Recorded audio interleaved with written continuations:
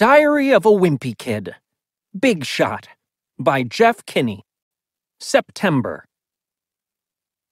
Monday. I've heard that athletes are born with special genes that make them good at sports. Well, whatever those genes are, I guess I was born without them. Mom's always saying that everyone who's part of a team has an important role to play. But when it comes to sports, it seems like my job is to make everybody else look good. Like in volleyball, when the other team spikes the ball off my head to score a point. Thwack! Ugh. At this point in my life, I'm pretty sure I'm not going to grow up to become a professional athlete. So, I'm officially announcing my retirement. The crazy thing is, I used to actually like sports. But that was back in preschool when sports were still fun. The first sport I ever played was soccer. I didn't know the rules, but neither did any of the other kids. So most of the time, it was just pure chaos on the field. Wherever the ball went, we all chased after it. Every once in a while, the ball would pop out of the pack and go in someone's goal. Then, everyone would celebrate. Nobody kept score, so you never knew who was winning or losing and the parents didn't care because they were too busy talking, sunbathing, and listening to music. The referees were middle school kids, and they didn't really pay attention to the game either, because they were too busy on their phones. In fact, the refs didn't even blow their whistles when the ball went out of bounds, so half the time we'd be playing soccer on a baseball field and didn't know it. After the game, We'd always get slushies and junk food at the snack shack. And sometimes we wouldn't even wait for the game to be over to treat ourselves on the field, rather than actually playing. The coaches were really nice and made sure everyone got a chance to score, even if that meant holding the kids up right in front of the soccer net. And that made everyone feel good about themselves. Yay! Back then, I was sure I was going to grow up to be a professional soccer player. I even kept my rookie card in mint condition in case it turned out to be worth something one day. But when we got to kindergarten, everything changed. The refs started using their whistles. Tweet! And they didn't let us do the kinds of things we got away with the year before, like running with the ball in our hands or pushing kids out of the way. That season, the refs blew their whistles almost every time I touched the ball. So, when I was in the game, I'd stand in the corner of the field and pray the ball didn't roll to me. It's not like I was getting a lot of playing time in kindergarten anyway. The coach only put in the kids who were good, and the rest of us sat on the bench. Mom told me the reason the coach wasn't playing me was because I was his secret weapon and he was saving me for a big moment. But I didn't understand that Mom was just trying to make me feel better about myself. So whenever the coach did put me in the game, I'd go out there thinking I was hot stuff. Even the snack shack wasn't fun that year.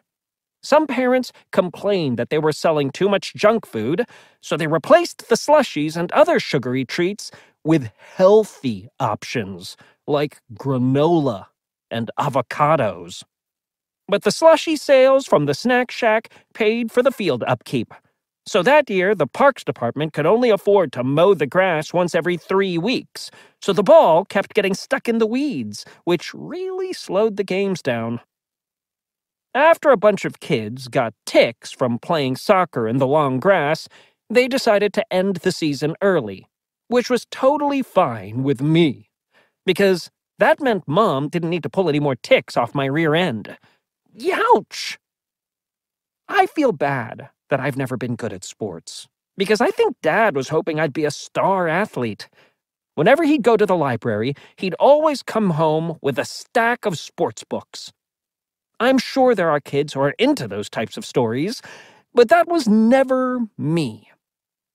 If you go to the library, you'll find all sorts of books about kids who do amazing things and lead their teams to victory, like the Winner by Todd Friedrich, and A Kid Named Champ by Colin Nixdorf. But I never had any experiences like that. And I'll bet there are lots of kids out there just like me. So one of these days, somebody should write a book for the rest of us. It's not like I've got anything against sports. I like them just fine, as long as I'm not the one playing. In fact, this summer, I watched the Olympics on TV pretty much nonstop. It was Mom's idea for us to watch the games as a family. She says that these days everyone's in their own little bubbles, and sports is one of the only things that can still bring people together. But I think a little togetherness goes a long way. Because Mom already has us scoring the athletes on TV while Manny cheers them on with a flag. Mom says she loves the Olympics because they show what human beings are capable of at their best. But I like watching for the bloopers, like the pole snapping in the middle of a pole vault. Wah! Snap. I'm just glad it's somebody else out there, and not me. Because I'm sure I'd be nervous if I knew there were millions of people watching from home. And when you mess up in the Olympics, you're supposed to act graceful about it. But if I just spent four years of my life training and then made some dumb mistake, I'm pretty sure I'd have trouble smiling for the cameras. That's why I do one of those sports where you're part of a team. Like the four man bobsled. Mind if I squeeze in with you, fellas? Because then, when you screw up, it's harder for people to tell. In fact, if I was in the Olympics, I'd be in one of those events where a horse is involved. Because then, if something goes wrong, at least you'd have someone to blame. Things were going great until Thunderbolt here screwed up. But now that I think about it, that's probably the reason why horses sometimes act out and kick their riders. Kapow! Even though we watched a lot of Olympics coverage, I still don't understand the way everything works. For one thing, I don't see why they only hand out medals to the athletes who take the top three spots in a competition. It seems to me like they could keep going with the medals so everyone goes home with a prize. 15th place, aluminum medal is awarded to Greg Heffley. The way it is right now, they give you a gold medal if you take first place, silver if you take second, and bronze if you take third. But I feel like there's a pretty big step down between silver and bronze. At least gold and silver are worth something. But if you won a bronze medal, you'd be lucky to get a few bucks for it at a pawn shop. I figure the moment your medal is the most valuable is right after you win it. So if I got one, I'd try to take advantage of the live TV audience and say, This dazzling medal can be yours to own. Serious offers only. Greg Heffley, first time medalist. During the medal ceremony, they have the top three athletes stand on a podium, and then they play the gold medalist's national anthem and make the other two athletes stand there and listen. But if I took silver or bronze, I'd pop in some earbuds so I could jam to my own tunes. Snap, snap. One of Mom's favorite things about the Olympics is when they tell the life stories of the athletes who are competing. Some of the stories are really inspiring because a lot of these athletes had to overcome tough challenges to get where they are. But if I ever made it to the Olympics, my story wouldn't be all that inspirational because the announcers would just say that my parents made me play sports. Greg Heffley. Parents made him play sports. Mom keeps telling me that one day I could be an Olympian and I should start my Olympic journey now. But I'm pretty sure it's already too late for me. For most sports, you have to start playing really young if you want to be any good. So even if I got serious, I'm sure I'd be competing with kids who are half my age, and I don't really want to learn tennis with a bunch of kindergartners. I've heard that in some countries, they identify kids with potential super early. And then they send them off to these elite academies to train around the clock. I really don't think there's any hope for me of becoming an Olympian. But my brother Manny is only in preschool, so maybe he's still got a shot. I'm not an expert on this stuff or anything, but from what I've seen, the kid looks like he's got potential. I've seen him use the broom to pole vault over the kitchen counter. To be honest, I wouldn't mind if mom and dad shipped Manny off to one of those sports academies, because that would be one less person I'd have to share a bathroom with. But maybe there are some sports that you can start when you're a little older, and there's still hope for a person like me. Because it would be pretty cool to represent your country as an Olympian, no matter what sport you compete in. I'd even wave the ribbon in rhythmic gymnastics.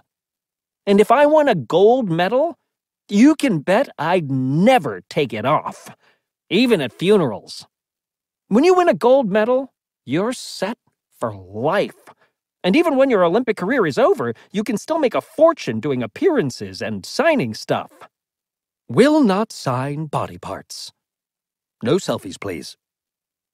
But the real money's in advertising products on TV.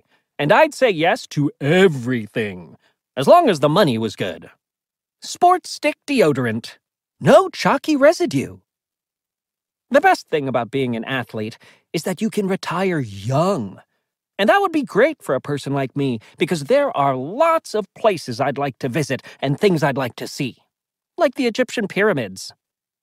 So, I'm not going to give up on sports just yet.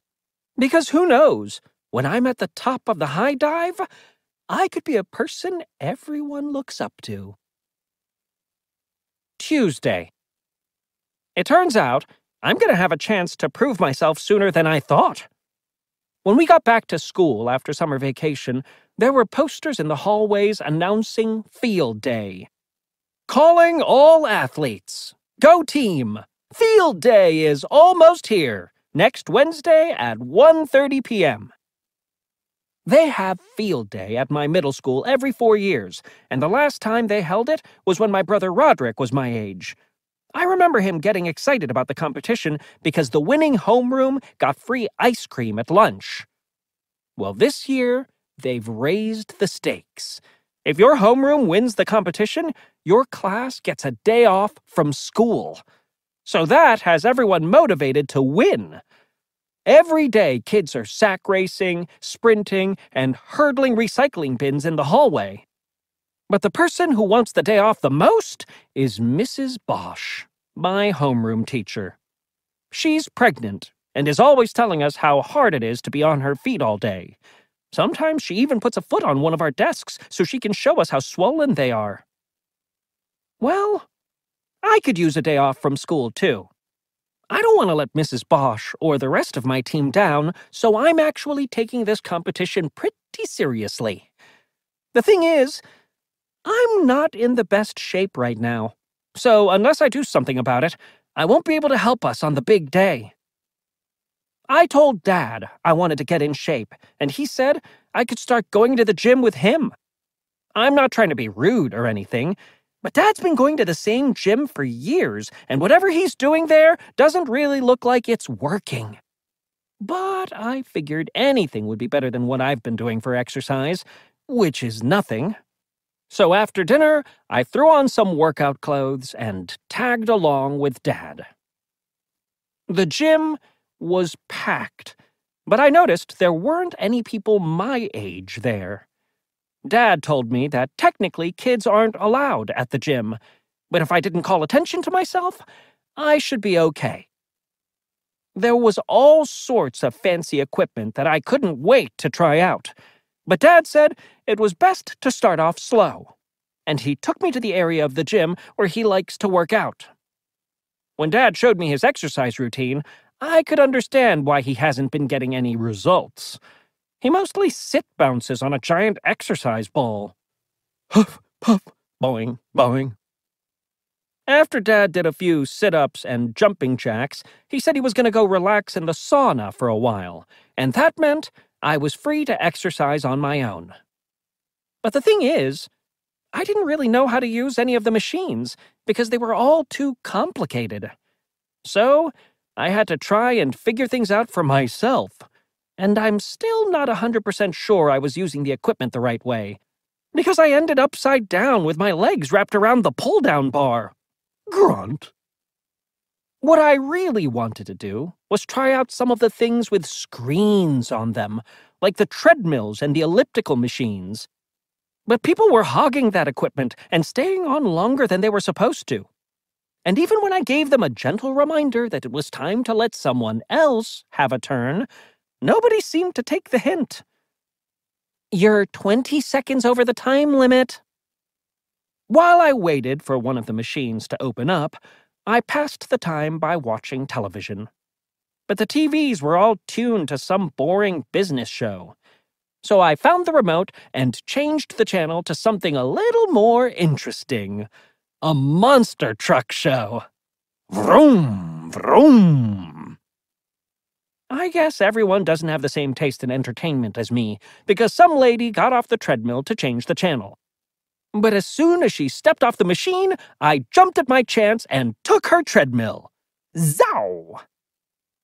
There was a big screen on the front of the treadmill, and you could choose between all these famous places to take your walk. Pick a route Camino de Santiago, Pacific Crest Trail, Great Wall of China, Champs Elysees. So I spent a few minutes trying to decide where I wanted to go. Hmm. After I made my choice, the treadmill started moving, and I felt like I was actually walking along the Great Wall of China. But I guess the Great Wall is steep, and I was having trouble keeping up. So after a while, I put my feet on either side of the conveyor belt and took in the sights the easy way. Ah.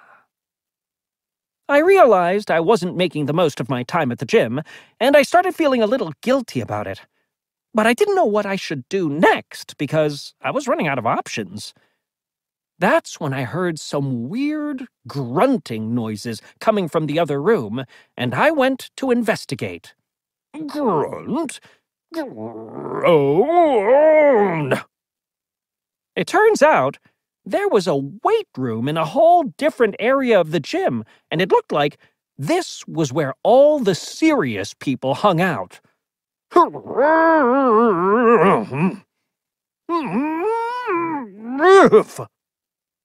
I wanted to look like these guys, but I didn't know how to get started. And when I went around asking for advice, I found out that nobody was in the mood for chit chat. So, how much weight is actually on this thing? I asked while tugging on the giant barbell over the weightlifter's head.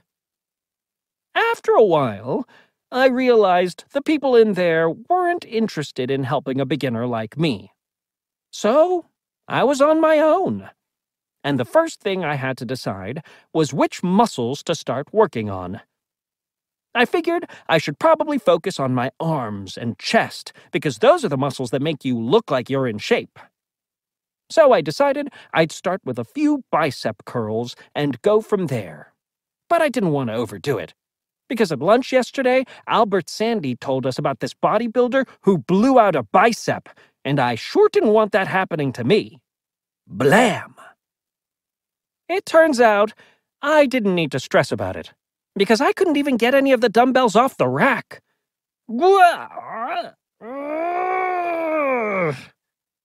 I thought I might have better luck with the bench press, but I couldn't budge the barbell either. And I have to admit, I was getting a little frustrated. By now, people were staring at me, and I didn't want to look like I didn't know what I was doing so I started taking the weights off the barbell to make it a little lighter. But it turns out you're not supposed to take the weights off one side of the barbell all at once, because when you do, everything slides off the other side. And apparently, people in the weight room don't like loud noises. Crash! So, I guess that's the reason why they don't let kids in the gym. But it doesn't seem right that they kicked Dad out, too because he really has been a loyal member. Thursday. Mom said that when it comes to getting in shape, exercise is only half the picture. She said nutrition is just as important, and she'd be happy to teach me a few things about eating right if I really wanted to learn. I didn't feel like getting a lecture about food, but I jumped at the chance to go with her to the grocery store. And that's because I wanted to help pick out the food we'd have in the pantry. Whenever Manny goes to the store with Mom, he picks the things he wants. And that's why we have all this random stuff in our cabinets, like ham chews, oink, silver fox adult diapers, quail eggs, family sized, perfect shade, at home hair coloring kit, lard. No offense to mom or anything, but she's terrible at picking out snacks. She always buys healthy stuff that tastes awful, and she won't buy any new snacks until we've eaten all the old ones, like sweet potato cookies, prune jerky, beet dip, haddock skin chips, chickpea clusters, seaweed bars. So lately, I've been having my best friend Rowley over for tasting parties to help me clear space in the cabinets. When we got to the grocery store today, I split off from Mom, then loaded up the cart with a bunch of my favorites. Then I grabbed a few healthy items just to make Mom happy. But it turns out my idea of health food isn't the same as Mom's. When we met back up, she went over each item I picked out and explained why it wasn't good for me. She held up a bottle of fruit juice, which I thought was a pretty solid choice on my part, but Mom said it was full of sugar, and there wasn't any nutritional value to it. I told Mom she was wrong because there was a picture of tons of different fruits right there on the bottle. Then, Mom showed me the label. And I couldn't believe they can even get away with that. Berry Bonanza contains no actual fruit juice. Mom said that if you really want to know what's in the food you buy, you have to read the list of ingredients. And she told me the cans of Chef Marinara pasta I had in the cart were full of all sorts of chemicals. But I knew Mom was wrong about that one, because I've seen the Chef Marinara ads on television that show him making his pasta by hand in Old Italy. Mom showed me the small print on the back of the can, which said the food was made in a factory in Detroit. She said Chef Marinara probably wasn't even a real person, and they just hired an actor for those TV ads. Well, that made me feel pretty stupid for dressing up as Chef Marinara in our wax figure exhibit at school last year. Then I started to wonder if Rotten Rudy was a real person because those Rotten Rudy TV ads scared me into drinking a gallon of milk every day. Don't be like Rotten Rudy and have rotten teeth. I should have drank milk. Drink milk. Mom said food companies are really clever about slipping their advertising into places you wouldn't expect, which made me think about the posters that are up in our hallways at school. The Read and Refresh poster shows a boy reading a book while downing a jug of Berry Bonanza, and the Food Pyramid poster gives Berry Bonanza the biggest share. She explained that sometimes packaged food companies use cartoon characters to get young kids to want their products. And I think she's right, because before we left the house today, Manny was watching an episode of The Murples, where Munchie Murple was chowing down on a bowl of Rock Candy Crunch cereal. And guess what Manny was eating while he watched? Rock Candy Crunch! Crunch, crunch. Munch, munch. Mom told me that when she buys food for the family, she checks the labels and doesn't buy anything with ingredients she can't pronounce. Then she said the best thing to do is buy food with only one ingredient, like fruits and vegetables. Well, I don't know if it's just my generation, but it's a little hard for a kid like me to eat something that isn't wrapped in cellophane or doesn't come in a cardboard box. In fact, if chocolate bars grew in the ground, I'll bet I wouldn't touch them.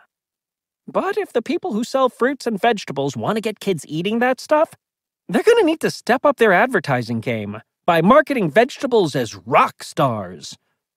Berry beet Ashton Asparagus, Brett Broccoli, Caitlin Carrot. Tuesday.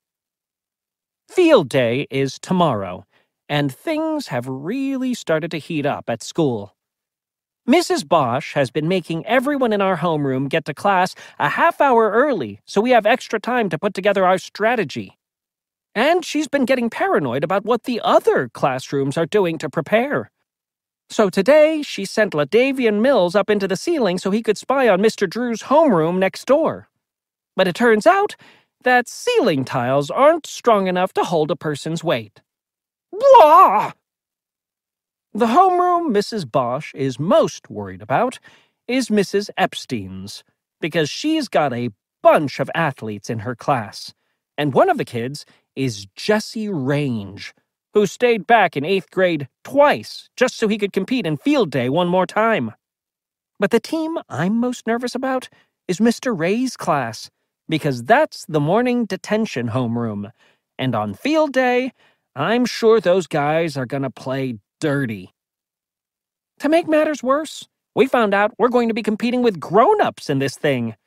The janitors went to Vice Principal Roy and said they wanted to put together their own team because they deserve a day off just as much as us students. I guess that's fair. But the bathrooms have been getting pretty gnarly ever since they started spending all their time training. And now the lunch ladies are getting in on the act. So the cafeteria has basically turned into a gymnasium. The homeroom teachers are getting pretty spooked, so they've started trading kids to improve their team's chances. Mr. Esper sent the fastest girl in our school, Ava Hollis, to Mrs. Joy's class, and he got Thomas Sheff, who's apparently a specialist in the sponge toss. All this trading has got Mrs. Bosch thinking about making some moves of her own. She even gave me the job of scouting kids from some of the other homerooms to see who we should recruit for our team. That's why it stung when Mrs. Bosch traded me and two other kids for Jesse Range and threw in a pack of dry erase markers to close the deal. Thursday. Yesterday was field day at school, and it started off with some controversy. Before the first bell, Mr. Ray gave Jesse Range detention just so he could steal Jesse for his team. So that meant Mr. Ray's team was totally stacked, and the rest of us didn't stand a chance. Before field day kicked off, Mrs. Epstein gathered our team on the playground to go over strategy and make some last minute adjustments. But I still couldn't figure out why she wanted me and those other two kids instead of Jesse Range. I was only signed up for one event, which was the three legged race, my partner was Madison Burke, who's about a foot taller than me, which made things kind of awkward. But when the race started, I finally understood Mrs. Epstein's strategy. She didn't trade for me because I'm fast, she traded for me because I'm light, and Madison could just drag me to the finish line. Wah! Me and Madison took first place, and our team was off to a good start. But we had a big setback a few minutes later when Marcelo Romera rolled an ankle in the sack race. It turns out the lunch ladies had left some potatoes in a few of the sacks, and I'll bet that wasn't an accident.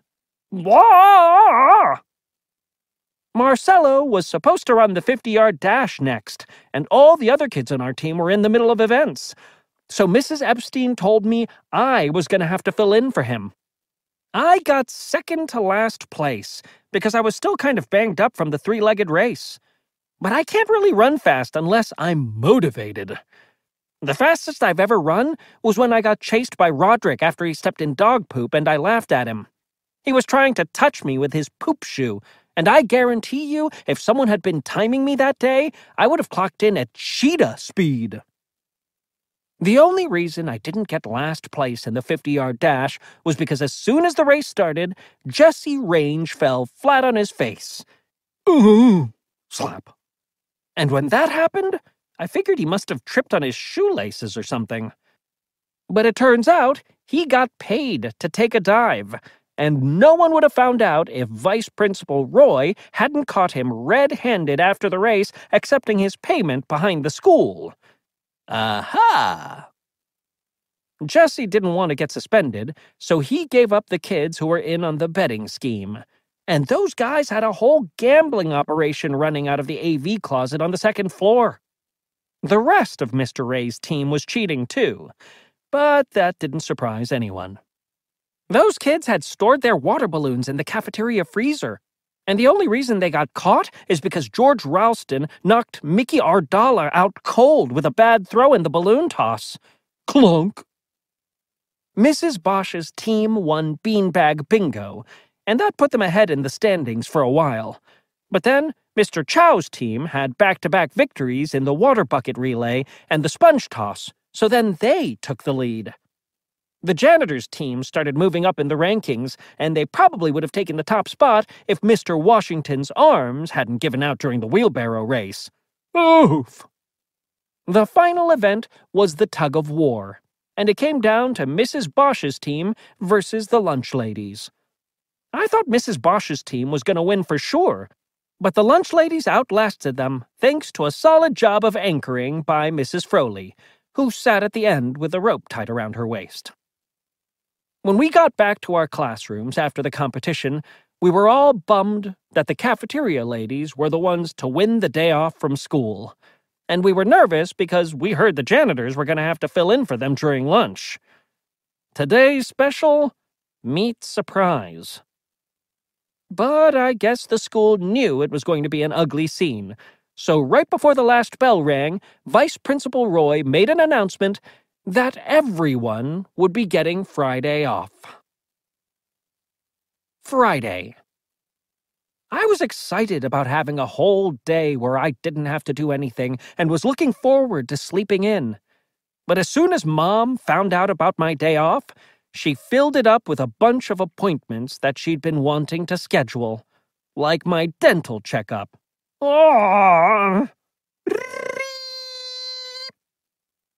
I was in a bad mood all day.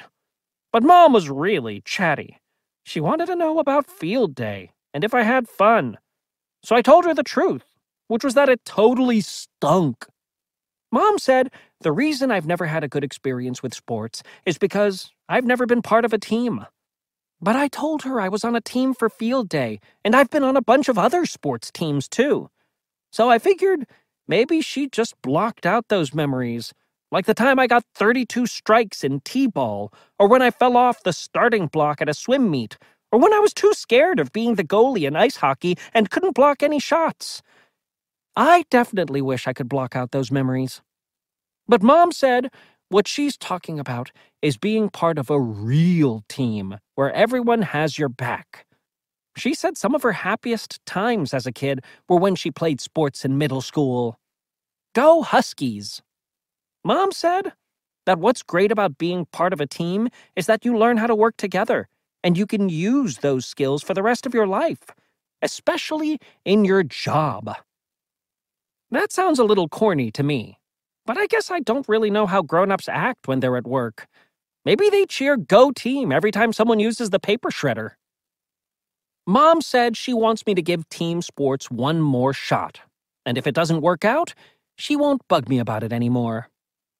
So I told her I'd think it over. But really, I'm just hoping she forgets in a day or two. I don't understand why people get so wrapped up in sports, because it seems to me there are more important things in life. If you can throw a baseball at 100 miles per hour, you'll make millions of dollars, and kids will have your poster on their wall. Go, Joe! But if you're the person who ends up curing cancer, you'll be lucky if you get a pat on the back, a couple of cupcakes, and a banner that says, Thanks, Marie.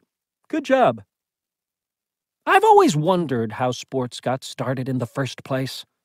In ancient times, people were always at war, and I guess they decided they needed to figure out a way they could settle their differences without killing each other. So someone came up with the idea of sports as a more peaceful solution, even though a football pileup can still seem pretty violent. But over time, sports evolved, and nowadays, you've got team mascots and cheerleaders and professional athletes. I've only been to one professional sports match in my life, and that was when my dad took me into the city to watch a football game. To be honest, I don't remember much about the game itself, but I do remember everything else about that day. Dad didn't want to spend money to park near the stadium, so we ended up about a mile away in a muddy lot. He broke out his portable grill, and we cooked burgers, which was actually kind of fun. But I drank way too much soda, and on our walk to the stadium, I knew I had to find a bathroom or I was going to wet my pants. Dad didn't want to stop at one of the porta potties because the lines for those were too long. But I told him I didn't think I could make it all the way to the stadium, so I begged him to let me pull over. I had to wait 20 minutes in line, and finally it was my turn. But I wished Dad had given me a little advanced warning about what those things were like inside, because I would have just held it. Ah! It was a smart move making that pit stop, though, because when we got to the stadium, there was another long line for security, and we missed the whole first quarter of the game waiting to get in. When we finally got inside and found our seats, there were some guys sitting in them, and it took forever to sort that out. I don't know why they even bother to have seats, because no one was sitting in them anyway, and most of the people in our section were too big for somebody my height to see around. Since I couldn't see the field, I had no idea what was happening, and Dad was too wrapped up in the game to tell me what was going on. Eventually, I realized I could see the game if I just watched it on the Jumbotron, which is this giant screen that hangs high above the field. Whenever there was a pause in the action, they turned the cameras on the fans for things like Kiss Cam. Gross. They had this thing called Fan of the Game, where you could win a prize by acting crazy when they put you up on the screen. And some people were really going for it. Like the guy who wrote Pick Me on his stomach so he could make it onto the Jumbotron. I knew there was no chance of me winning fan of the game if I was behind a bunch of people, so during a timeout, I stepped into the aisle and really hammed it up for the cameras, snapping and dancing. But I guess I was embarrassing Dad. So he gave me some money and told me I should go up to the concourse and get some snacks and a souvenir. I spent my money on popcorn and one of those giant foam fingers, but when I turned to walk away from the souvenir stand, there was a loud noise that shook the whole stadium. Boom! Apparently, when the home team scores, they shoot off a cannon. But I wished Dad had warned me that might happen because I seriously thought we were in danger, so I hid under a cart selling cold drinks. After I was sure the coast was clear, I went to find Dad. But I couldn't remember which section we were sitting in, and Dad was the one who had our tickets. I started to panic because there were 80,000 people in that stadium, and everyone looked the same from behind. Plus, the game was tied, and the fans were too distracted to help some lost kid. Luckily, an usher saw me wandering around the concourse and brought me to the child finder station. They asked me a few questions about who I was and where I last saw my father, but by then I was so shook up and crying that I could barely even remember my own name. The next thing I knew, I had a camera in my face, and they put me on the Jumbotron. Lost Child, Frank Heffley, please come to the Child Finder station in Concourse B. Then I realized this was my chance to win Fan of the Game. So I made the most of my opportunity, dancing and waving my giant foam finger. The good news was that our team won in the last second. The bad news was that Dad didn't get to see it because he had to come get me. And believe it or not, I did win Fan of the Game and we got two free tickets to the next match. But I don't remember going to another game after that, so I think Dad must have taken Roderick. What really stuck with me about that day was how they tried to keep things entertaining for the fans. And I think our church could learn a few lessons from the professional sports experience. First of all, when they introduce the priest and altar servers, they should dim the lights and play some loud music, because that would get everyone hyped. And now, all the way from St. Mary's Seminary in Baltimore. Another thing they could do is have a mascot, like Churchy the Lion, to make the service more fun for little kids. Sometimes you need to break things up to keep people energized, so they could put in a halftime show. And there's all sorts of crazy stuff you could do for entertainment. I think a puppy circus would be a big hit. But the biggest upgrade to the church experience would be if they added a Jumbotron. For starters, it would help the people in the back feel like they were closer to the action, even if it meant a cameraman would have to stand on the altar. They could even have a random drawing to let the people who came in late get a seat up front. You've been selected for a pew upgrade! Plus, they could use the Jumbotron to encourage people to be a little more generous when they pass the donation basket around. Tanner Smith, last week's donation, $2. I've got a bunch of other suggestions, and I actually took the time to write them down and put them in the offertory. But I guess the people who run our church must be pretty busy, because so far, nobody's gotten back to me. October. Tuesday. I was really hoping Mom would just forget about making me join a team, but she's been pressuring me every single day. I tried to tell her that in 20 years, regular sports will be replaced by esports, and athletes won't even have to leave their couches to compete. They can just play games on their couch while eating pizza and chips and still win gold. But I guess she's too old to get excited about what things are going to be like in the future. One of the reasons I haven't decided on what sport to play is because I'm not really that good at anything. I've been racking my brain trying to remember a time when I did something athletic to help figure out which sport is right for me. And all I can think of was the time at lunch when I landed a balled up napkin in Justin White's empty milk glass. Toss, plunk. When I made that shot, the whole cafeteria went nuts. And I'm pretty sure it's the biggest athletic achievement of my life. Some people were even saying they should put a plaque in the spot where I threw the napkin so future students would know about it. From this spot, Greg Heffley tossed a napkin into a glass on a moving tray from a distance of 25 feet. For the rest of the year, kids tried to recreate my shot by tossing balled up napkins into my milk glass, and that turned the lunch period into a nightmare. I thought my napkin shot proved I had some talent, and I told Mom maybe I could try out for the basketball team. Well, that got her all excited because she said she played basketball when she was my age and her team was really good. Then she said, maybe basketball skills run in our family. Mom said her team made it all the way to the state finals one year, but when I asked her what happened in the championship game, she said it wasn't important. Mom said what mattered was that I'd be part of a team. Then she went to her computer to figure out how to sign me up to play. I was glad Mom was excited that I decided on a sport, but there was actually another reason I picked basketball.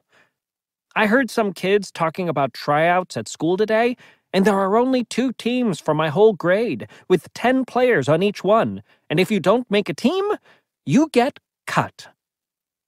I'm sure there will be a lot of kids trying out next week, so I don't stand a chance of making it. And once it's over, I can finally get Mom off my back with this sports stuff. Sunday.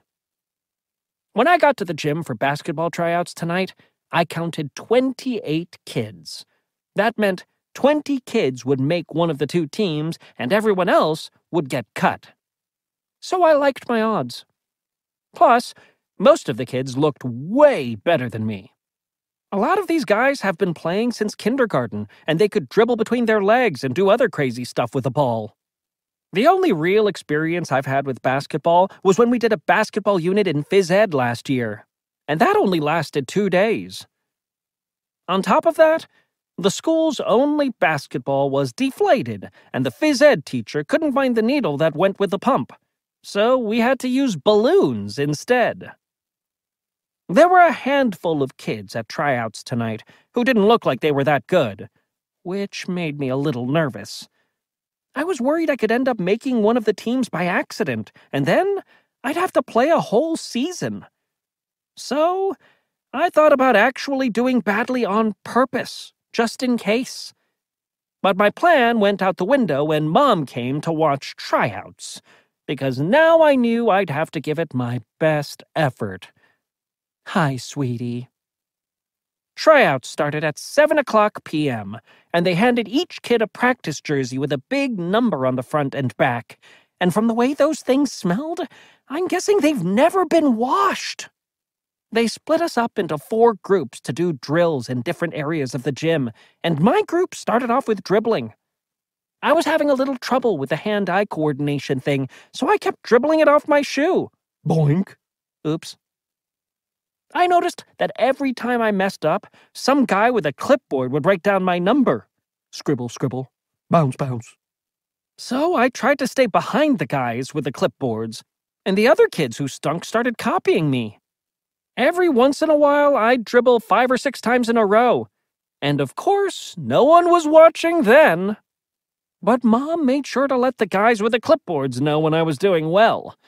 Number eight hasn't dribbled off his shoe in a while.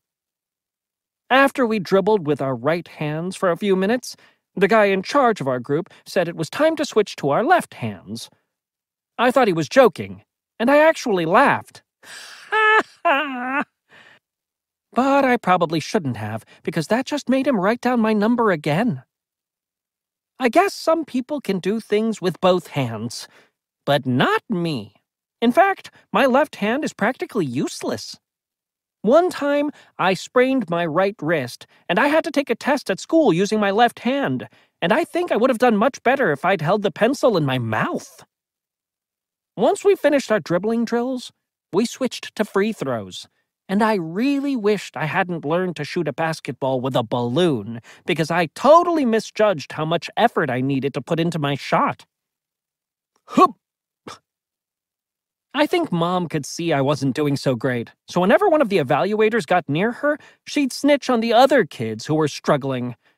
Number three just threw it over the backboard. But it's not like mom was the only parent helping their own kid. Some of the evaluators had kids who were trying out tonight. When an evaluator high fived his son, I had to wonder how fair the scoring really was. By the end of the night, it was pretty obvious who was going to make a team and who wasn't. But I guess they needed to decide which kid was going to get the final spot because they made the bottom nine kids duke it out in a scrimmage. And all I can say is it wasn't pretty. There was a lot of tripping and falling and even punching. Once that was over, they collected our jerseys. The guy running tryouts told everyone that if we made a team, our parents would get an email by tomorrow night. But after that experience, I'm not exactly holding my breath. Tuesday. When I got home from school yesterday, my plan was to relax and maybe take a nap. So I was pretty surprised when I walked into the kitchen and saw cupcakes, a banner that said congrats, and a balloon that said you did it. I was confused because I knew for sure I didn't make either of the basketball teams. But Mom said she heard from one of the coaches who said I did. Then she showed me the email to prove it. It was from Mr. Patel, Preet Patel's father. Preet's one of the best athletes in our grade, and during the student teacher basketball game last year, Preet totally dominated. I couldn't understand how I got on the same team as a kid like that. But Mom said the evaluators must have seen something special in me, and that's why I made the cut. When I thought back to the night before, I couldn't remember Preet actually being at tryouts, so now I was even more confused. At school today, Jabari Bruce told me what happened. Preet missed tryouts because he had to go to his uncle's funeral, and the rule was that if you skipped tryouts, you couldn't be on a team. So Mr. Patel made a new team with Preet plus all the kids who got cut, just so his son could play this season. Well, I wasn't happy to hear that. I thought I was off the hook for basketball. And now all of a sudden I was on an actual team. And I knew there was no way mom was letting me out of this either. Our first practice was tonight at the elementary school, and when Mr. Patel saw our team assembled for the first time, I'll bet he had second thoughts about taking this on. My teammates were the kids who were in that last scrimmage at tryouts, and I already knew a few of them from school. Jabari Bruce and Tommy Chu were part of that trade deal with me on field day. Then there was Darren and Marcus Woodley, who might actually be decent athletes if they weren't always trying to kill each other.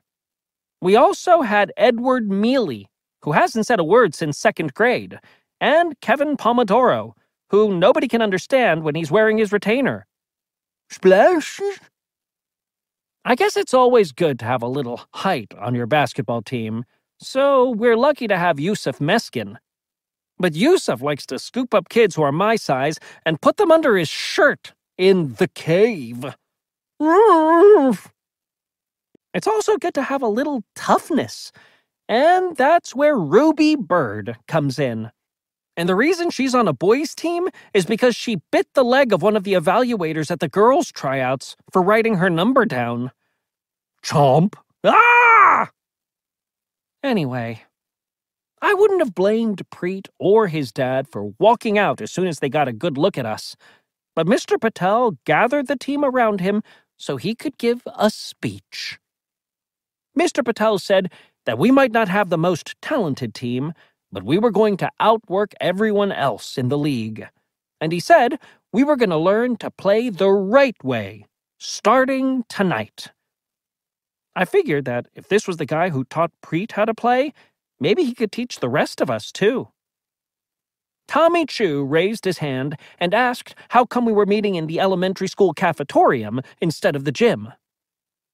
Mr. Patel explained that the two other teams booked all the gym time for the season, so we were going to have to make do with the leftovers. I didn't understand how we were supposed to play basketball when we didn't have a hoop, but Mr. Patel said that we were going to start with the fundamentals and work up to shooting later on. We did some dribbling drills and then moved on to passing. But with all the tables set up in the cafetorium, there wasn't a lot of room to move around. So half of us had to go on the stage, which was set up with a cardboard train and bushes for a kindergarten play. Even though we were trying our hardest, Mr. Patel was getting frustrated we weren't picking things up more quickly. And every time one of us made a mistake, he'd make us run wind sprints to the other side of the cafetorium. But that just made us tired. So we made even more mistakes. And after a while, everyone except Preet was running sprints. Puff, puff. Personally, I don't think coaches should use running as a punishment because all it does is make kids hate to run. And I doubt the track coach forces his team to play basketball whenever they're slacking. The thing I hate the most about running is that it makes you sweat. My theory about sweat is that it's your body's way of telling you you're working too hard and you need to take it easy. But when I shared my thoughts with Mr. Patel, he just made me run more wind sprints. When I got in the car after practice, Mom wanted to hear all about it. I told her how our team was basically just Preet and a bunch of scrubs, so we weren't going to be any good this season. But Mom said I'd probably get a lot of playing time on this team, which got me worried. Every kid dreams about hitting the big shot to win the game for their team. But there's a flip side, and that's being the person who blows it. Oh, clang. There's a guy in my town named Anthony Grow and 20 years ago, he missed a kick on an empty net and lost a game against Slacksville, who's our town's biggest rival. And now, he can't go anywhere without people reminding him about it, especially at restaurants where people will throw food at him. If I was Anthony, I'd just move to Slacksville, because over there he's a hero. There's even a giant poster of his famous missed kick at the Slacksville pub. I made the mistake of telling Mom how I was worried about messing up like Anthony Grow, and she told me a story that made me feel even more nervous about things. Mom had been the backup point guard on her middle school basketball team, and in the championship game, the regular point guard got hurt. So, with the score tied in the fourth quarter, Mom had to go in and take her place. Mom said she actually did pretty well, but with the clock winding down, she got double teamed. So she had to heave the ball up at the buzzer, and her shot came up short. Mom says she's glad it happened because it taught her to deal with failure and made her a better person. But I'd be willing to bet Mom's teammates just wished she hadn't choked. Thursday. I should have done a little more research before I decided on basketball as my sport, because the schedule is brutal. We've got practice three days a week, plus one game on Saturday and another on Sunday, and on top of all that, I'm supposed to keep up with my homework and get enough sleep to make it through school the next day. It's hard enough getting sleep with all the racket outside my window every night, and that's because we put up a basketball hoop in our driveway. Thump, thump, thump, thump. When I made the basketball team, Mom went out and bought a backboard and hoop for above the garage. I guess she was hoping I could put up extra shots on the nights I didn't have practice. But I haven't taken a single shot on that thing because the second it went up, the teenagers in our neighborhood swooped in. Ever since they took down the outdoor hoops at our school, there haven't been a lot of places where kids can play. So now they come to our house, and Dad has to park down the street when he gets home from work. Dad told Mom he wanted to take the hoop down, but Mom said she was happy that kids were outdoors having fun. I guess I wouldn't have minded too much either, but the teenagers don't know when to stop. And when we're heading to bed for the night, those guys are still out there going hard. Lately, Mom's been trying to give them a hint that it's time to go home by flicking the lights above the garage on and off. But I guess teenagers aren't really good at taking hints because they just keep right on playing. So, a few nights ago, Mom turned the lights off when it got dark outside. But those guys were prepared, and they set up a generator and lights in no time. Last night, Dad reached his breaking point and called the cops, who were at the house 10 minutes later. I thought that would be the end of it, but it turns out cops like basketball too. One of them was out there dunking on the kids. Slam! We've kind of given up on trying to stop people from using the hoop, but I guarantee you that the first time there's nobody out there, we're taking that thing down. Another reason I've been so tired lately is because our practices have been starting at 9:30 p.m.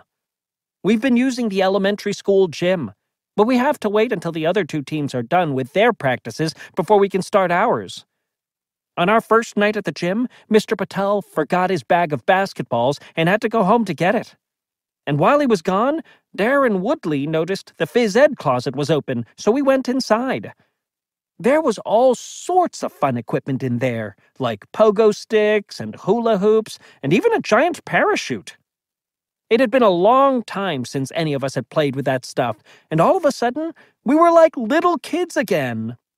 We even made up a whole new game that used those square four wheeled scooters and some giant plastic bowling pins to push one another into the pins to try to knock them all down. And it was actually way more fun than basketball. But when Mr. Patel came back with a bag of balls, he blew his whistle and shut our game down. Tweet! Mr. Patel told us we were there to play basketball, not to goof around. Then he made us put everything back in the closet where we found it. I've read that basketball started off with a bunch of guys horsing around with a leather soccer ball and a peach basket, and now it's popular all over the world. But if their coach had been anything like Mr. Patel, it probably never would have happened. Doink. And I'll bet Mr. Patel's gonna feel pretty dumb when the sport we invented goes pro. Roller Bowling World Championships, France versus Japan. Once we finished putting all the equipment back in the closet, Mr. Patel lined us up at the foul line to practice free throws. And even after he showed us the right way to shoot, most of us couldn't get the hang of it. After missing a bunch of times in a row, I was getting pretty frustrated. So I shot the ball backward just for kicks. And believe it or not, it went in. Swish. My teammates were pretty impressed, and after that, everyone tried making a backward shot. Boom. But Mr. Patel shut that down too. Tweet! He said we were never going to improve until we started taking things more seriously. I tried to explain that I was better at shooting backward than forward, and maybe the way he was teaching us was all wrong. But I guess Mr. Patel thought I was being a smart aleck, so he made me run wind sprints until the end of practice. On the first few nights, we just worked on stuff like dribbling, passing, and shooting. But at the beginning of last night's practice, Mr. Patel said we were gonna scrimmage. Everybody was pretty excited that we were finally gonna get to actually play. But right when we were about to start, a group of men my dad's age walked into the gym. One of the guys walked up to Mr. Patel and said we were going to have to get off the court because the men's league had the gym booked at 9:30 every Wednesday night. But Mr. Patel said that we had the gym until 10:30 and he had double-checked with the rec department that afternoon. Things started to get a little heated, but then Mr. Patel came up with a solution.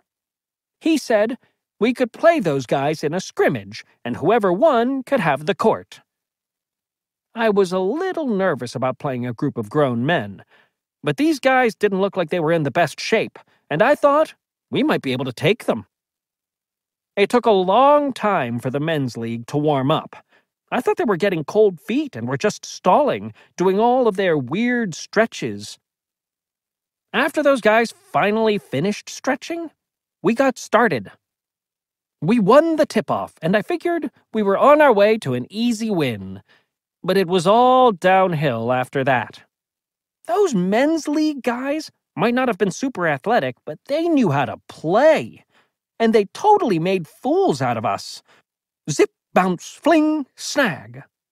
The whole time, they never stopped talking. And I hate to admit it, but they were really getting inside our heads. It was all corny stuff that only grown ups would say, but it really worked. And the more they talked, the more we struggled. Like, you reach, I teach. I'm breaking ankles out here. Stumble, bounce, trip. I'm calling bank. The person who was getting the most frustrated was Preet, and I could tell he really wanted to stick it to these guys. But they had figured out that Preet was our only good player, and whenever he'd get the ball, they were all over him. At one point, Preet stole the ball and sprinted to the other end of the court for what should have been an easy layup. I think Preet wanted to make a statement because he decided to dunk it. We were all pretty excited to see Preet throw it down, but I guess he needs to grow a few more inches before he's ready for that. Clang! Preet landed awkwardly on his ankle. And even though the game wasn't officially over, I think the men's league saw it as a win. I thought Preet just rolled his ankle and he'd be back to normal for the next practice, but when he showed up at the gym tonight, he was on crutches. It turns out Preet broke his ankle, and he's out for the whole season. And that's bad news for the rest of us, because without him, we're toast. It's even worse news for Mr. Patel, because now he's stuck coaching this team for the rest of the season. And I'm sure he'd rather be spending his free time watching TV or learning to juggle. But at the beginning of practice, Mr. Patel gave a speech. He said injuries are a part of the game, and the rest of us were going to have to step up. Then he ran us through some plays that were supposed to make it easy to score. We started with five on three, but nobody could make a basket. So we went to five on two, and then five on one, and we still couldn't score. We finally hit a shot when it was five on zero, but the play didn't go the way Mr. Patel drew it up. Marcus Woodley only scored by accidentally bouncing the ball off Yusuf Meskin's head. Zip bop boink. So if we actually score in our first game this weekend, it's going to be by blind luck. At the end of practice, Mr. Patel said he had a surprise for us and opened a big cardboard box. Then he started handing out uniforms. Toss. I noticed the uniforms looked kind of familiar, and I recognized the smell, too. Mr. Patel explained that there wasn't enough time to get new uniforms for the team, so they had to recycle the ones from tryouts. But there was something different about the jerseys, because now there was a logo printed on the back. Mr. Patel told us that every team has a sponsor to help pay for stuff like gym rentals, and our sponsor for the season was Marconi's Sub Shop. I guess it was tough finding a good sponsor, because I'm pretty sure Marconi's is still closed for health code violations. So each jersey read, Marconi's Sub Shop, reopening soon. Saturday. Today was our first game of the season, and it was at the elementary school gym. Coach Patel asked everyone to get there a half hour early so we could go over the plan and warm up. Mr. Patel showed us a few new plays he designed, which looked like they must have taken all night to draw up. I just hoped the other guys on the team understood what all the little X's and O's were supposed to mean because it was complete gibberish to me. While we were going over the plays, the stands started filling up. I was nervous to play in front of a crowd, but it turns out I didn't need to worry about it. Because when Coach Patel put in his starting lineup, I wasn't in it. We were playing against Franklin, which is a town that's 20 minutes down the road from us. Things got off to a rocky start when Franklin won the opening tip off and took it all the way down to the other end for a layup. And that set the tone for the rest of the game. Kevin Pomodoro was our point guard because he's the only kid on our team who can dribble while looking up. But Kevin was basically playing one handed because every time he needed to yell out one of Coach Patel's plays, he'd have to take his retainer out so people could understand him. Blue six! Blue six! Eventually, the Franklin players caught on, and whenever Kevin would call a play, they'd go for the steal. Gah! Swipe. Our team was trying its best to follow Coach Patel's new plays, but I don't think anyone knew who was an X and who was an O, so it was just pure confusion out there. Coach Patel started yelling at the kids on the bench, like what was happening out there was our fault and I just acted like I was ashamed because it seemed like that's what he was looking for. Coach Patel started subbing kids out of the game, and I was getting worried he was going to put me in. So I moved to the end of the bench and just prayed he'd forget I was there. But Mom was in the stands, and she wasn't exactly helping. With her giant sign with a cutout of myself and another that said, Put Greg in. Even though the elementary school gym is our home court, it's not like we have a home court advantage. First of all, the gym is about 70 years old, and there are all sorts of dead spots on the floor. So even when someone on our team would try to get something going, they'd end up losing their dribble. Splop. Plus, there's bubble gum and other crud caked on the floor. And on a fast break, Jabari Bruce actually lost a shoe running down the court Gwork? Ah! Whoever designed the gym did a lousy job because there's no room between the sidelines and the walls. So anyone trying to save a ball from going out of bounds is risking their life. Ah! Wham! On top of that, the doors to the restrooms are close to the baseline, and in the first quarter, there was a line for the ladies' room that stretched onto the court. To make matters worse, the guys who used the men's room kept leaving the door open, and at one point, someone threw a bad pass and the ball landed in the urinal. Splush. One of the refs washed the ball off in the sink and then dried it with some paper towels. I don't know what they pay those guys, but whatever it is, it's not enough. Believe it or not, my team managed to score a handful of buckets, but when the buzzer went off, the score was 38 to 6. I was just glad that Coach Patel didn't put me in, because if he had, I guarantee we would have lost by even more. I've played enough sports to know that when the game's over, you're supposed to shake hands with the other team and say it was a good game. So that's exactly what I did. But I wished someone had told me we were only at halftime, because maybe then I wouldn't have made such a fool of myself. Good game, good game, good game. Hmm? Coach Patel told us to meet in the locker room so we could get ready for the second half. But the elementary school didn't have a locker room, so we had to settle for the men's bathroom. And unfortunately, it was occupied by a man changing his baby's diaper so we didn't even have it all to ourselves. But that didn't stop Coach Patel from launching into his halftime speech as soon as he stepped in the room. I was a little bummed out that Coach was making us listen to a speech at halftime, because if you ask me, I think halftime should be a vacation from the game. But Coach Patel started by going over everything we were doing wrong and all the adjustments we needed to make in the second half if we wanted to win. Then he told us a story about this group of Scottish warriors from a long time ago. He said they were surrounded by their enemies and were totally outnumbered, but they won the battle by sticking together and fighting with everything they had. He said if we followed the game plan, maybe we could get a victory too. And I have to admit, it was a pretty good speech, because by the time we left that bathroom, we were ready to go to war. Roar!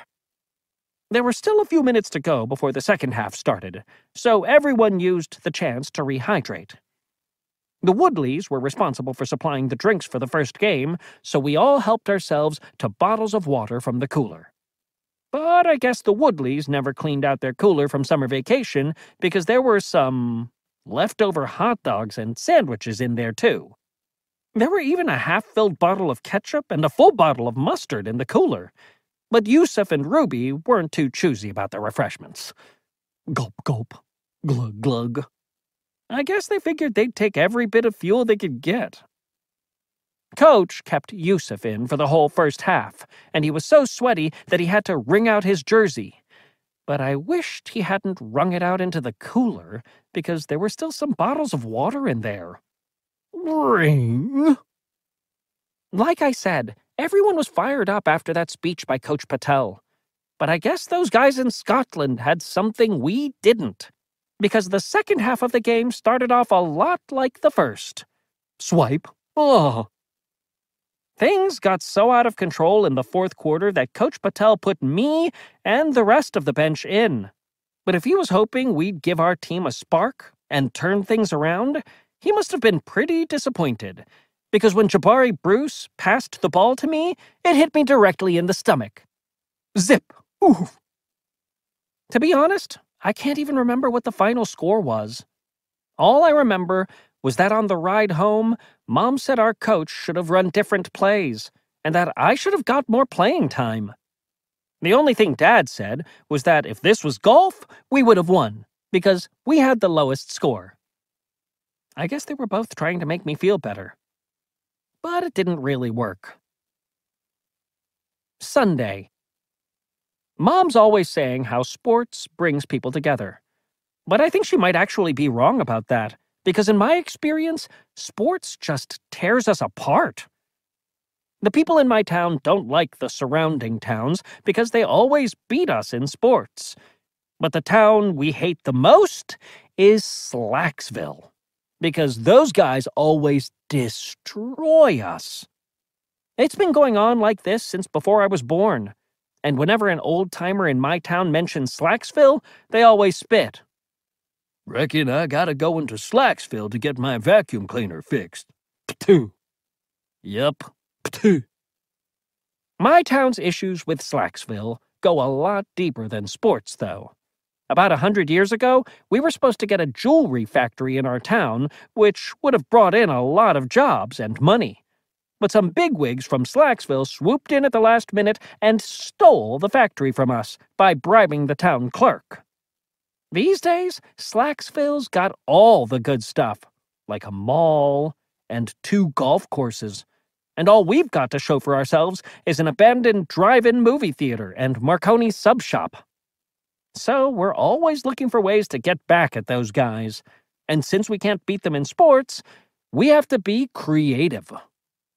Last year, the state was planning on putting a big garbage dump in our town, but we made some changes to our zoning laws, so the state had to put the dump in Slacksville instead, and I've heard they're not too happy about it either. I guess it's stinking up a popular park where people like to get married and it's ruining their weddings. It seemed like things were going to change a few months back when the mayor of Slacksville called our mayor saying he wanted to make a peace offering. Every year, our town has a giant bonfire in the park on the 4th of July, and this year, the people of Slacksville wanted to donate the wood. The timing was great because our town was out of money for recreational stuff and couldn't afford to do the bonfire this year anyway. So our mayor gave the plan the green light, and a few days later, trucks started showing up from Slacksville with piles of lumber. And they even set it all up for free.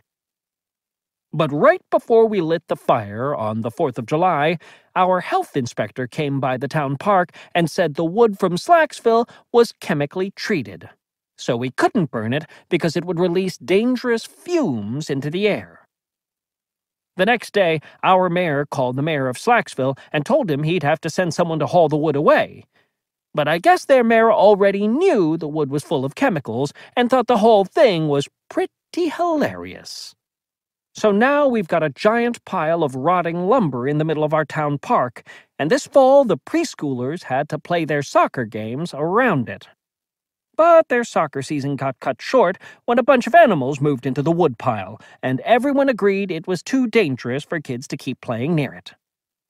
So I guess Slacksville has the last laugh. At least for now. The reason I'm bringing this stuff up is because today was our first away game, and of course, it was in Slacksville. I got a queasy feeling when we drove past the sign because I hadn't been there in years. Welcome to Slacksville, Jewelry Town. Our game was at Slacksville High, and their gym was way better than ours. The court looked brand new, and I didn't see a single piece of gum on the floor. The gym was packed before we got there, and people started booing us during warm ups. Boo! Only a few of our parents showed up to cheer us on. I had to carpool to the game with Edward Mealy because Mom said she needed to go with Dad to Manny's preschool play. But I kind of wonder if Mom bailed on me because she knew what was in store for our team in Slacksville. I was pretty anxious for the game to get started so I could take my spot at the end of the bench.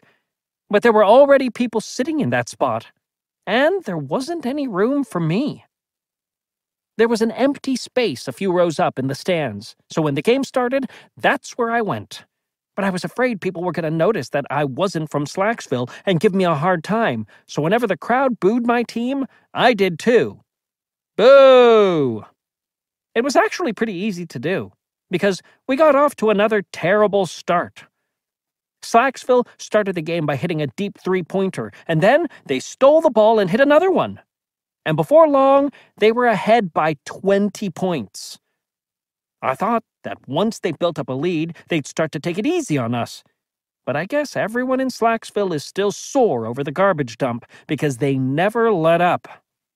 They started running a full court press, which meant we couldn't even get the ball past half court. In fact, we couldn't even get the ball in play because those Slacksville kids were all over us. Coach Patel was yelling at our team from the sidelines, but his voice was drowned out by the Slacksville crowd. Honk! Aroo! Every once in a while, my team would get the ball in bounds, but then three or four Slacksville players would swarm the kid who got the pass. And we couldn't even get any rebounds because their center was so big he actually made Yusuf look small. By halftime, the score was 52 to 0, and I was hoping the refs would use the mercy rule and end the game. But I guess they don't do that kind of thing in basketball. I'm pretty sure the people who run the Slacksville gym turned up the heat in the visitors' locker room just to make us uncomfortable, because it was like a sauna in there. Pant, pant, gasp. Coach Patel gave another speech, but this one wasn't about Scottish armies or anything like that. It was about pride. He said that when we stepped onto the floor, we were representing our town. Then he said we shouldn't even look at the score, because the only thing that mattered now was how hard we fought. And that got everyone just as fired up as the speech in our first game. Roar! But a few kids on my team took Coach Patel too literally. Because when the second half started, our team was ready to fight for real. Yusuf got things started by throwing an elbow. Then Ruby Bird took down Slacksville's center. Whap! Oof! Gah! Then the Woodley brothers started going at it with each other for some reason. Biff! Punch! Mm.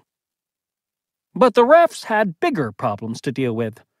Kevin Pomodoro's mother and one of the Slacksville moms started arguing in the stands, and the next thing you knew, they were throwing haymakers. The refs went into the bleachers to break it up, so I decided to make myself some room on the bench because it was a lot safer there. But I wished I had stayed where I was because when Ruby and Yusuf got ejected for fighting, the coach put me in the game, along with Tommy Chu. The Slacksville coach pulled his starters to give them a rest, and he put in his bench players too. Coach Patel told our team to run one of the plays he taught us at practice, and believe it or not, when Jabari Bruce bounced the ball off Tommy Chu's head, the play actually worked. Now the score was 52 to 2, and the Slacksville crowd was really annoyed because they thought they were gonna skunk us. So the Slacksville coach put all his starters back in the game. They reeled off 23 straight points, and it seemed like there was nothing we could do to stop them. I didn't understand any of Coach Patel's plays, so I just ran up and down the court and tried to look like I knew what I was doing. But then Kevin got double teamed, and he threw the ball to me. I didn't know what I was supposed to do, so I just tried to throw the ball to get rid of it but a Slacksville player hacked me on the arm and the ref called a foul. Whack! Ow! Tweet! The ref put me at the free throw line and gave me the ball. And I really wished I remembered the stuff Coach Patel taught us about shooting technique because everyone's eyes were on me. And with all the booing and hand waving, the Slacksville crowd wasn't exactly making it easy to concentrate. I think fans should have to be quiet when a player's trying to shoot a free throw. But when I tried to get them to be more respectful by shushing them, it didn't work. Shh. I totally whiffed my shot, and the crowd let me hear about it. Air ball. But at least it was over. Then the ref gave me the ball and told me to shoot again. I thought he was just being nice by giving me another try, but it turns out that when there's a shooting foul, you get two shots. I didn't want to miss again, so I thought about shooting it backward to at least have a chance of making it. But I didn't want to make Coach Patel mad and decided to try a granny shot, where you throw the ball from between your legs. But when I airballed that one, even the grannies laughed at me. After that, I was ready to go back to my spot on the bench. So I subbed myself out of the game, which I found out later is not actually a thing a player is supposed to do. Mealy, you're up. Slacksville kept running up the score, and before long it was 98 to 2. Then one of their players hit a three pointer, so now they had 101 points. But the scoreboard could only display two digits for each team, so all of a sudden it looked like we were ahead. Two points to one. So we started going crazy, cheering on the bench, and that really ticked off the Slacksville crowd. The clock was winding down, and Slacksville tried to move the ball up the court. But now our team was playing with pride, and we locked it down on the defensive end. Slacksville managed to get past us, and they hit a layup.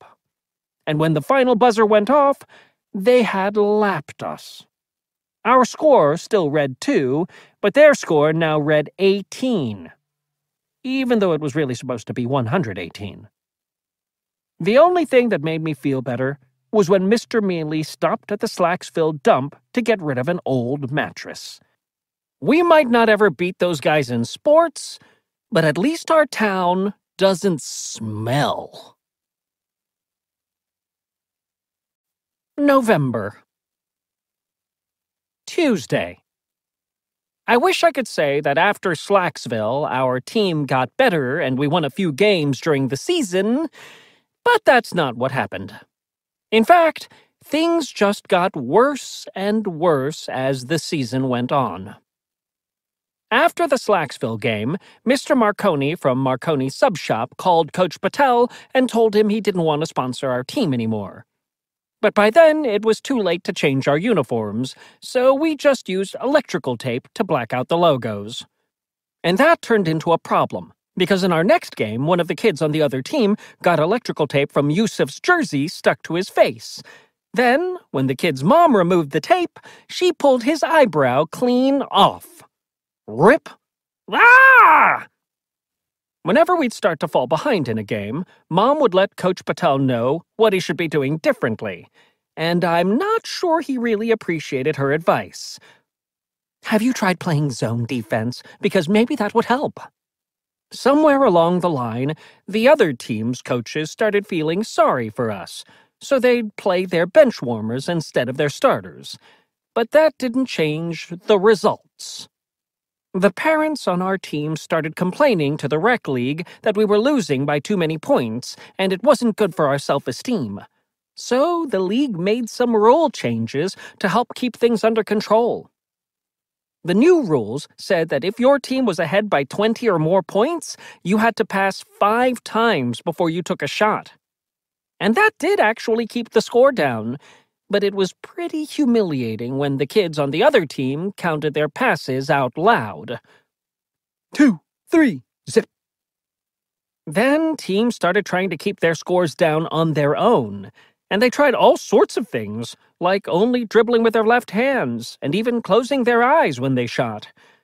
But the scores were still lopsided. So, halfway through the season, the Rec League did something a little more drastic to help us win. One weekend, they dropped us down a whole age group. And the week after that, they dropped us down another level. And there's nothing like having your butt handed to you by a bunch of elementary school kids to make you feel good about yourself. Even those little kids were forced to use the five pass rule. One, two, bounce. I only made one basket the entire season, but it was on the wrong hoop. And I guess Coach Patel wanted me to have my moment, so he didn't even say anything when I slid across the court on my knees to celebrate. By the end of the season, only Mom and a few other parents came to the games, and by then, even the refs weren't paying attention. One of them was on the phone, and the other one was eating a sandwich. We were so happy when the season finally ended that we gave Coach Patel one of those victory baths like they do when a team wins a championship. But I hope he took a real shower when he got home, because the Woodley's cooler was full of sweat. Splush. After our last game, we had an end of season banquet at Marconi's sub shop. And the only reason Mr. Marconi agreed to host it was because his restaurant still wasn't officially open and he needed the business. But I avoided any food with mayonnaise in it, just in case. Coach Patel handed out awards, and every player got one. But since no one was any good this season, he had to get creative. This certificate is presented to Greg Heffley for trying to learn a new sport. Dhruv Patel. After we had cake, Coach Patel gave a speech. He said that we might not have won any games, but he was proud of us for trying our hardest and never giving up. Then he said that even though there probably weren't any future professional athletes on our team, there were a lot of other exciting careers out there, like accounting and web design and puppetry. It wasn't as inspiring as some of the other speeches he gave during the season, but I guess they can't all be winners. I was just glad the season was finally over, because it meant I could go back to my regular life and I'm pretty sure my teammates felt the same way. But the one person who couldn't let it go was Mom. Before Mr. Patel got in his car to leave, Mom told him about this state tournament for teams that hadn't won any games during the season. Then she showed him a flyer she'd printed out. Tough season? Turn that frown upside down in the Second Chance Tournament, because there's a winner in everyone. I really wished Mom had asked me about this first, because the last thing I wanted was to play more basketball. But luckily, Mr. Patel felt the same way. Mr. Patel told Mom that our team was hopeless at basketball and he wasn't willing to put us through any more misery. And even though it sounded a little harsh, Mom didn't argue with him. A week later, Mom invited the whole team to our house. I thought this was one of those end of the season parties where you have pizza and maybe watch a movie or something. But it was a whole other thing. Once everyone got to our house, Mom said she had an announcement to make. She said she was going to enter us in the second chance tournament and that she was going to be our coach. Then she said we were going to enter the tournament as a whole new team for a fresh start, and she started handing out uniforms. Everyone got kind of excited because these uniforms looked expensive. The jerseys had blue and gold stitching, and each kid's last name was written on the back. There was no sponsor this time, so I'm guessing Mom paid for these out of her own pocket. On the front of each jersey was the picture of one of those sled dogs you see in Alaska, and Mom explained that our team was going to be the Huskies, just like her middle school basketball team. It was pretty obvious Mom was just trying to relive her glory days through us, but I didn't really care, because, like I said, those uniforms were nice. Mom said that this time around we were gonna be winners. And that sounded a whole lot better than being accountants and puppeteers. Thursday. The big tournament is less than a week away, so our team doesn't have a ton of time to prepare. But after our first practice, I'm kind of glad we don't. Mom's coaching style is completely different from Mr. Patel's. Instead of working on our basketball skills, we did a bunch of touchy feely team building exercises, like standing in a line with a hand on the shoulder of the person in front of you, saying in unison, I've got your back. I just hope Mom knows what she's doing, because I don't see how that stuff is going to help us win any games. One of the exercises was supposed to help us get to know each other better. We stood in a circle, and when you threw the ball to another player, you had to tell everyone something about yourself.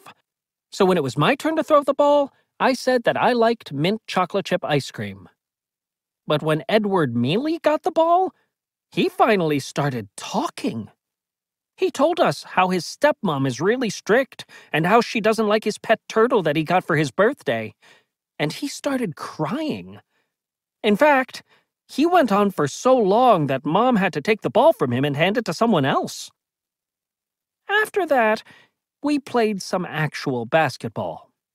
Mom tried teaching us a few plays that her team used the year they reached the state finals, but when she hit Darren Woodley in the back with a pass, it was clear we were having trouble getting the hang of things. Zip! Oof! I didn't think the fact that we were terrible was such a bad thing. I've seen a bunch of those movies about teams who are underdogs, but then they pull together and win in the end. And I've been wondering if we could do that. But the players who are on those teams never make any money because they're not the ones telling the story. So I've been thinking that if we turn into one of those teams that inspires a movie, I'm going to be the one to cash in. So before practice tonight, I put together a permission form and got my teammates to sign it. I hereby authorize Greg Heffley to use my likeness and image in a film or television series and any subsequent sequels throughout the universe and in perpetuity. Sign here. The only person who gave me an issue about it was Yusuf, who said he'd have to ask his parents before he could sign the form. But after I promised to give him my lunch snacks for the next three days, he was on board too. Scribble, scribble. All we need to do now is win this tournament so I can sell the rights to one of those studios that makes feel good movies. And I can already see the poster in my head. The Underdogs. Every dog has its day. Sunday. The second chance tournament was halfway across the state. I guess my teammates' parents were burned out on basketball because none of them wanted to make the drive. So yesterday, Mom rented a big van to get the team to the tournament. She said there was a chance we'd play for two days, so everyone had to pack an overnight bag. Some kids packed way too much for one night. Yusuf brought two loaves of bread and a bunch of supplies for sandwiches, plus a backpack filled with chocolate covered raisins. Jabari brought his video game system and a computer monitor so we could all play games in the van. But I guess it was too much for the vehicle's electrical system to handle because we had to pull into a repair shop when the circuit board got overloaded. We made another pit stop when Yusuf needed to use the restroom after eating half of the chocolate covered raisins all by himself. And even though we left two hours earlier than we needed to, we barely made it to the tournament on time. Since this was a big competition, I thought it would be held at a college campus or a convention center or something. So I was pretty disappointed when we pulled up at the old prison that's scheduled to be torn down next year. But I guess that's just the way it is when your team is one of the worst in the state. Second Chance Tournament. Welcome, middle schoolers.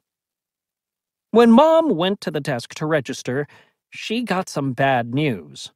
There was already a team called the Huskies in the tournament, so she had to come up with another name. And I guess Mom was feeling stressed that we were late, so she just wrote down the first name that popped into her head. Second Chance Tournament Registration Form. Team name Winter Dogs. But when I saw the names of some of the other teams we were competing against, I didn't feel so bad about ours. Yellow Bellies banana slugs, brawlers, rubber duckies, artichokers, banshees, mathlete all-stars, winter dogs. The games were being held in a big open area that must have been used as a cafeteria when the prison was open.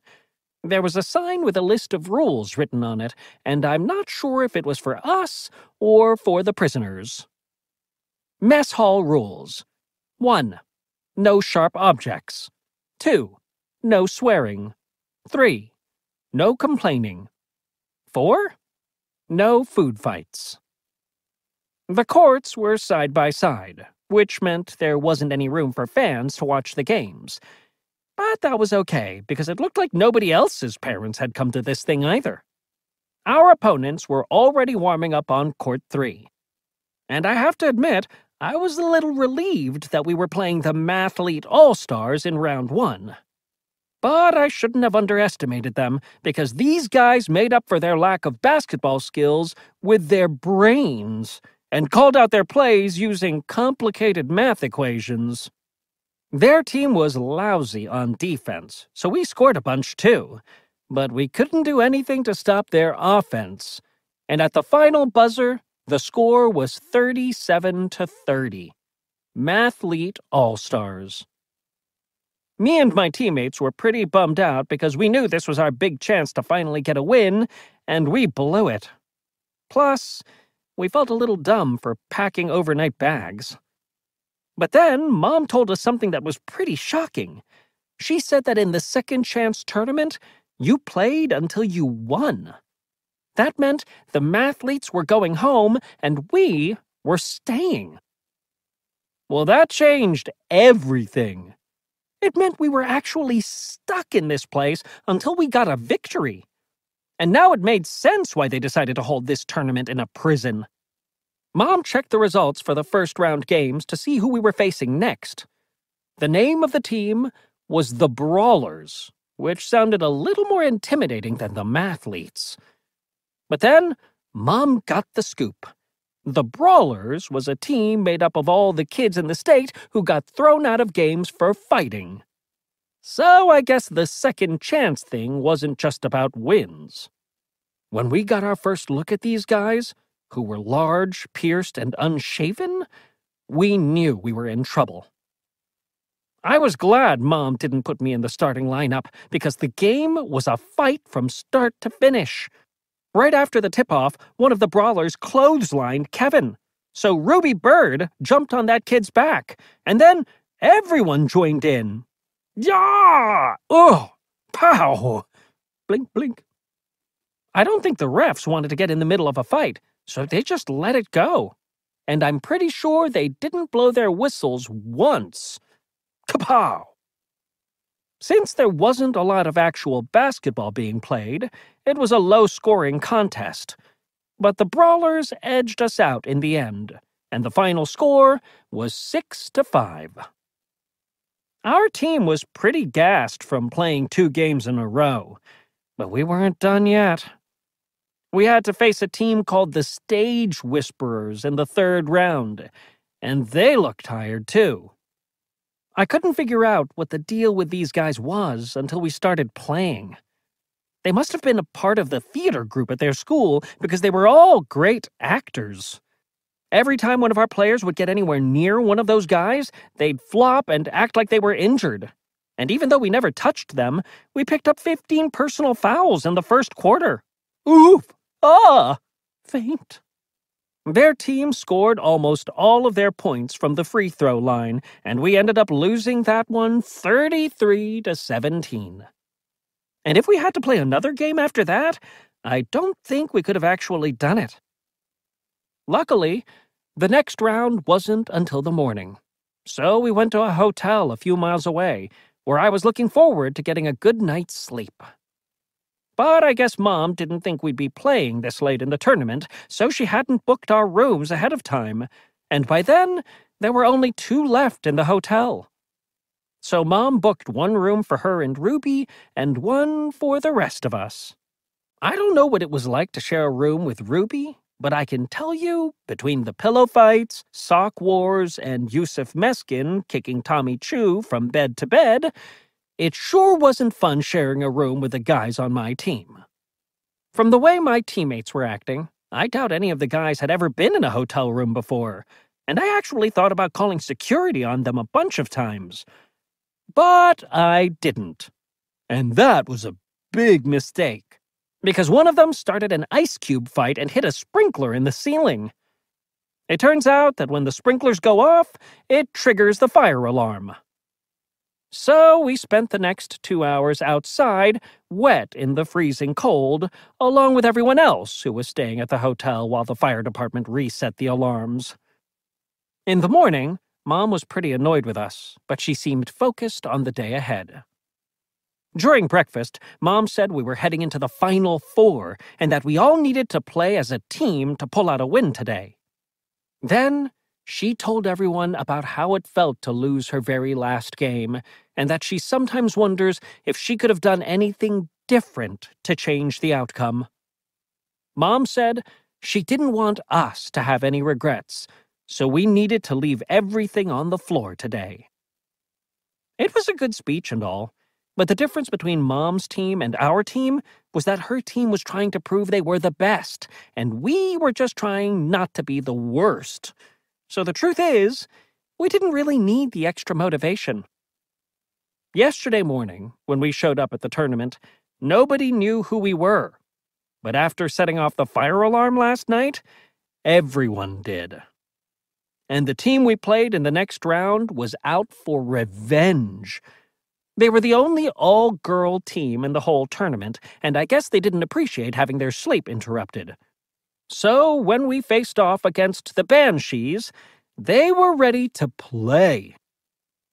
In the third quarter, Mom had to take Ruby out of the game to give her a rest, but I really wished she hadn't put me in to take her place because it was like throwing raw meat to a bunch of wolves. Shriek, scream, shriek. I don't even remember what the final score was. All I know is that we lost and they got to go home.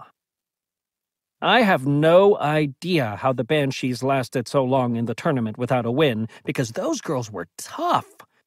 But when I saw the two teams who were still fighting for the chance to go home, I could see why those guys were still here. The two teams left were the original Huskies and the Funky Dunkers.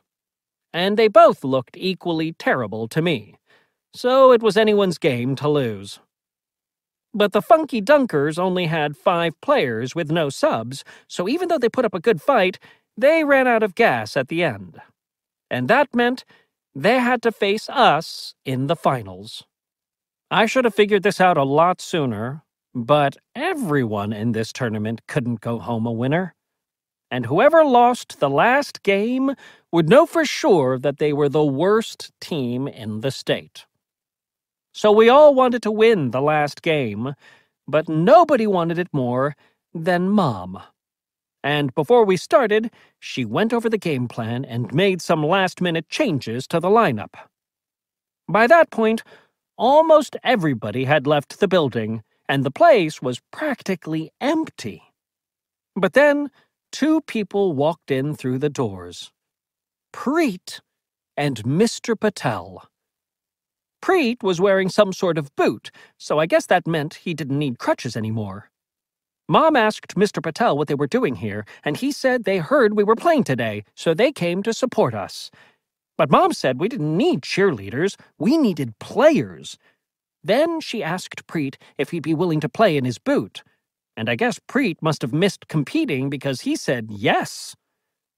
Luckily, Mom had a spare jersey in her bag, and she gave it to Preet to suit up. Then she put him in the starting lineup and told us she was making one more change to the playbook. Mom threw out all of our plays and replaced them with just one, which was called Get the Ball to Preet. And everyone was happy because we finally had a play we could understand. The ref blew the whistle to start the game, and we won the opening tip off. Yusuf passed the ball to Preet, who was better on one leg than the rest of us on two. The only problem was that he couldn't run, and every time he scored, the Funky Dunkers got an easy basket at the other end of the floor. Just before halftime, something really awful happened. A bunch of kids on the other team were trying to stop Preet from shooting, and he stepped on their point guard's foot with his boot. The kid had to be helped off the floor by his coach and another player, and we all clapped, because for some reason that's what you're supposed to do in that situation. But now, the Funky Dunkers were down to four players. The head ref said that since the Funky Dunkers didn't have a full team, they were going to have to forfeit. And I think their coach was totally fine with that. But Mom wasn't. She said if we were going to win, she wanted us to do it fair and square. So she said she'd send one of our players to the other team so we could finish the game. I guess the other coach figured he had nothing to lose, so he agreed. Then he said he'd take Preet. But the head ref said Mom should be the one to decide which player to send to the other team. And after thinking it over for a minute, she picked me. To be honest, I was kind of shocked because I never expected to get traded by my own mother. But as I walked toward the other team's bench, she whispered something in my ear. You're my secret weapon.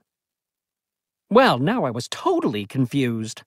I wanted our team to win this game just as much as Mom did, but I didn't think she wanted me to cheat. I was willing to do whatever it took, though, including putting on someone else's smelly uniform. When the second half started, I got out on the floor and acted like I was trying my hardest. But I guess my new teammates didn't trust me anyway, because they wouldn't pass the ball to me. After a few minutes, I just stood in the corner to stay out of everyone's way. And that was actually a great spot to watch the game, which was starting to get really good.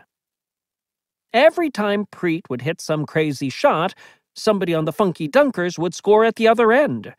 It went back and forth like that for the whole second half, and I was so caught up watching the game, I forgot I was actually in it. So when Preet missed a three pointer and the ball bounced off the rim, I was shocked when it came to me. Clang!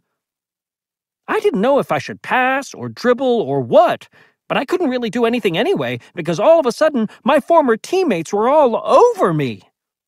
The clock was ticking down, and the Funky Dunkers were behind by two, so I looked over at the bench to see what Mom wanted me to do, but she didn't exactly look like she was rooting for me. That's when I realized why Mom sent me to the other side in the first place. It wasn't because I was some sort of secret weapon. It was because I stunk, and she knew I'd blow it for the other team. But by then, I honestly didn't care.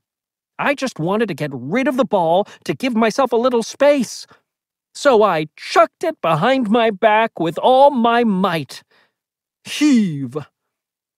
When I launched it, everybody just froze, and it felt like time stood still. And all anybody could do was watch as the ball flew through the air. And when the ball went through the net at the other side of the court, you could hear a pin drop. Swish. My shot was good for three points, which put the Funky Dunkers ahead by one. And when the final buzzer went off, my new teammates swarmed me. I finally got to see how it felt to be the hero for once when my teammates lifted me on their shoulders, and for the first time, I could see why everybody's always making a big deal about sports. In fact, I was thinking that this would make a good movie. So I started working on getting signatures from my new teammates. I gotta say, Mom was right about sports bringing people together. After the game, me and the guys went out for ice cream, and we were having so much fun that we decided to have seconds.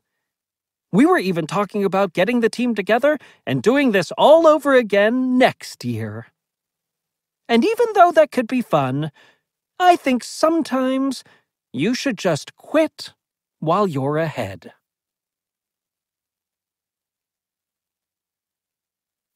The End